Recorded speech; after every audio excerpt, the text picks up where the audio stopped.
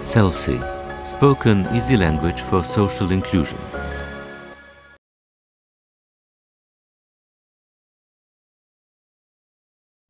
Buongiorno a tutte e a tutti.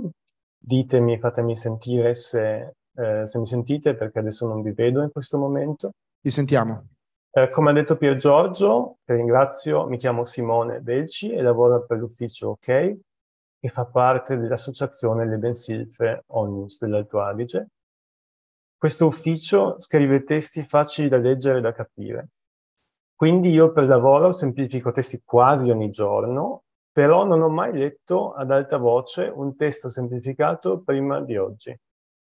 Eh, per me è una grande gioia poterlo fare qui oggi e spero di riuscire a parlare in modo chiaro, anche se questa non è proprio la mia specialità, perché tendo a parlare molto velocemente e a mangiarmi le parole, ma mi sforzerò. Eh, circa un anno fa ho fondato un gruppo di lavoro sulla lingua facile, insieme a altre persone che lavorano nel settore della semplificazione linguistica. Questo gruppo di lavoro si è già incontrato cinque volte e non ha ancora un nome ufficiale. Il gruppo di lavoro viene moderato da noi di OK e dall'Ufficio per la Lingua Facile dell'Associazione Svizzera Troin Firmis. Oggi vi voglio parlare di questo gruppo di lavoro sulla lingua facile e delle sue attività. Spesso, parlando con colleghe e colleghi che scrivono testi facili da leggere, ci siamo accorti di una cosa. Spesso le persone che scrivono testi facili da leggere in Italia non si conoscono. Questo è un peccato, perché così le persone non si possono confrontare e non possono condividere le loro esperienze. Ma il confronto tra i professionisti e le professioniste che scrivono testi facili da leggere è importante e la condivisione di idee e di esperienze ci aiutano a scrivere testi migliori testi più facili da capire e da leggere e magari testi anche un po' più belli. Noi che lavoriamo nel settore della semplificazione linguistica abbiamo tutte un obiettivo comune. I nostri testi devono essere accessibili al maggior numero possibile di persone. Quindi i nostri testi devono essere facili da leggere e da capire. Per questo è importante che noi condividiamo le nostre idee e le nostre esperienze. E per questo abbiamo deciso eh, noi dell'ufficio OK, di invitare a un incontro un anno fa tante persone che lavorano nel settore della semplificazione linguistica. Questo incontro è stato il 21 aprile 2022 e l'obiettivo di questo incontro era di fare conoscenza e decidere se e come volevamo lavorare insieme. All'incontro sono venute persone che scrivono testi facili da leggere, sono venute persone che fanno ricerca sulla lingua facile e sulla semplificazione linguistica all'università e sono anche venute persone che lavorano insieme o per le persone eh, con disabilità. Questo primo incontro è servito per conoscerci e le persone che sono venute a questo incontro hanno detto siamo interessati a confrontarci e a condividere idee e esperienze. Siamo interessati a partecipare a un gruppo di lavoro sulla lingua facile e il gruppo di lavoro si potrebbe incontrare ogni due o tre mesi. Il secondo incontro di questo gruppo è stato il 14 giugno 2022. I temi dell'incontro erano il percorso che porta a un testo in lingua facile e anche la semplificazione dei testi amministrativi e i problemi che sono connessi a questo tema. A questo secondo incontro abbiamo parlato di come nasce un testo in lingua facile Esistono metodi di lavoro molto diversi, ma tutte le persone del gruppo sono d'accordo su alcuni punti chiave. Prima di iniziare a scrivere un testo è importante capire bene per quale tipo di pubblico scriviamo, quali sono le esigenze del nostro pubblico, cosa vogliamo comunicare con il nostro testo. Per semplificare un testo molto spesso è necessario riscriverlo completamente Infatti dobbiamo trovare e semplificare i punti fondamentali e, se possibile, dobbiamo tralasciare informazioni non fondamentali. Inoltre dobbiamo aggiungere le spiegazioni di tutte le parole che potrebbero non essere chiare. Per questo preferiamo parlare di riscrittura e non di traduzione di un testo. Quando non possiamo modificare la struttura, e dobbiamo semplificare un testo frase per frase, è difficile ottenere un buon risultato e i testi diventano molto lunghi. Inoltre all'incontro abbiamo anche detto che è fondamentale coinvolgere lettrici e lettori di prova nel nostro lavoro. le lettrici e lettori di prova sono dei rappresentanti del pubblico per cui scriviamo il testo.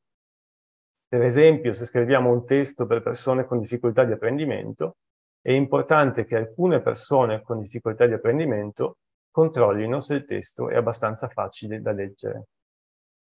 A questo secondo incontro abbiamo parlato anche del linguaggio amministrativo. Il linguaggio amministrativo è il linguaggio che usano per esempio lo Stato, le regioni e i comuni.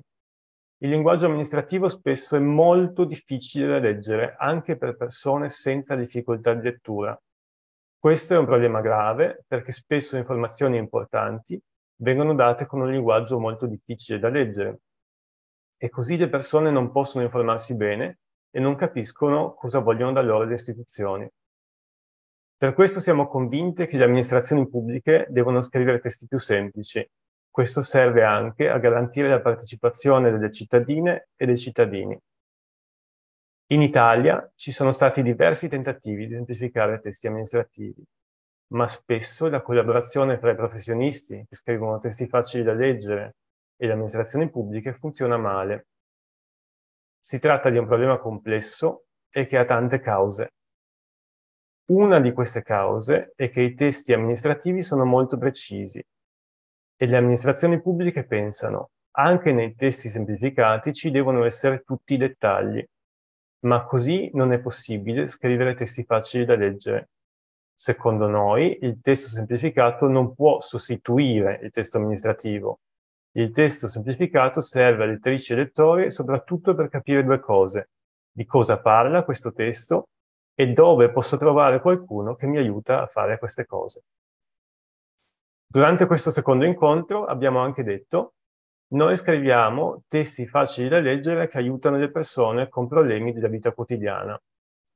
Ma le persone che hanno difficoltà a leggere hanno anche diritto a leggere altri testi, per esempio storie e testi letterari per divertirsi o rilassarsi, o testi per imparare cose interessanti.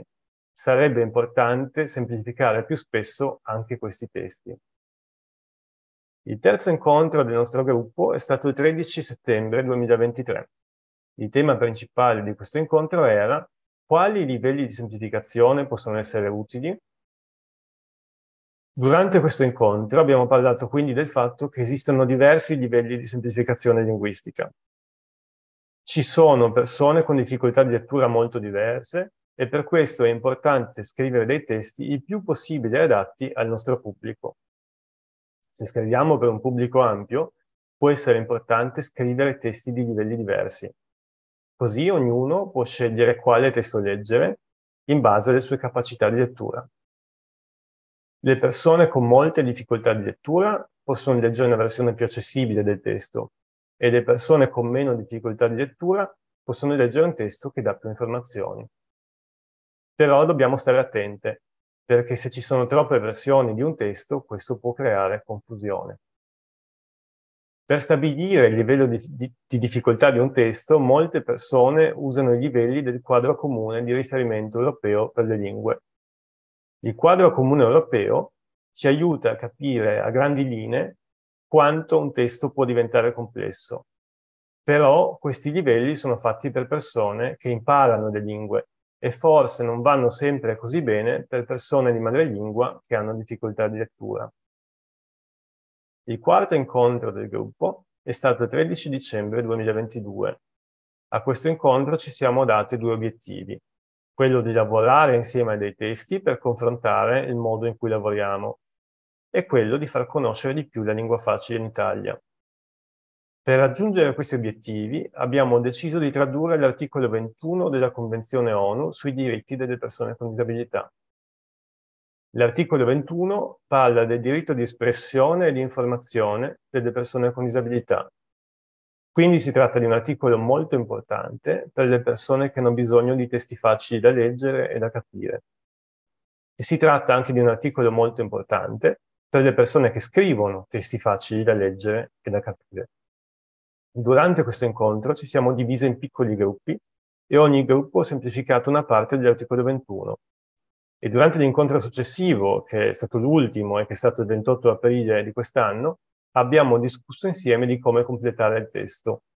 È stato un incontro molto interessante perché sono state condivise molte idee e molti metodi di lavoro e siamo riusciti a finire di scrivere il testo. Però il testo è ancora una bozza perché non è stato ancora controllato da persone con difficoltà di lettura. Ma già oggi in sala potete leggere un poster con la bozza di questo testo.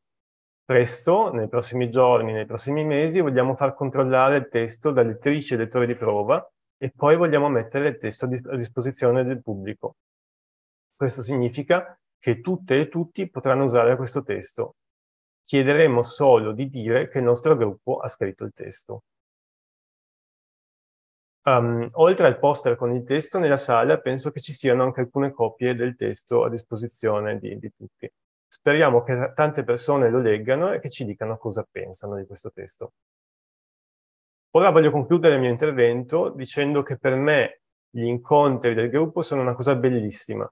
Finalmente si mettono in condivisione idee e metodi di lavoro. Vediamo come lavorano gli altri e così possiamo migliorare il nostro metodo di lavoro. E vediamo anche che ci sono tante professioniste e professionisti per cui scrivere testi accessibili non è soltanto un lavoro, ma anche una forma di impegno.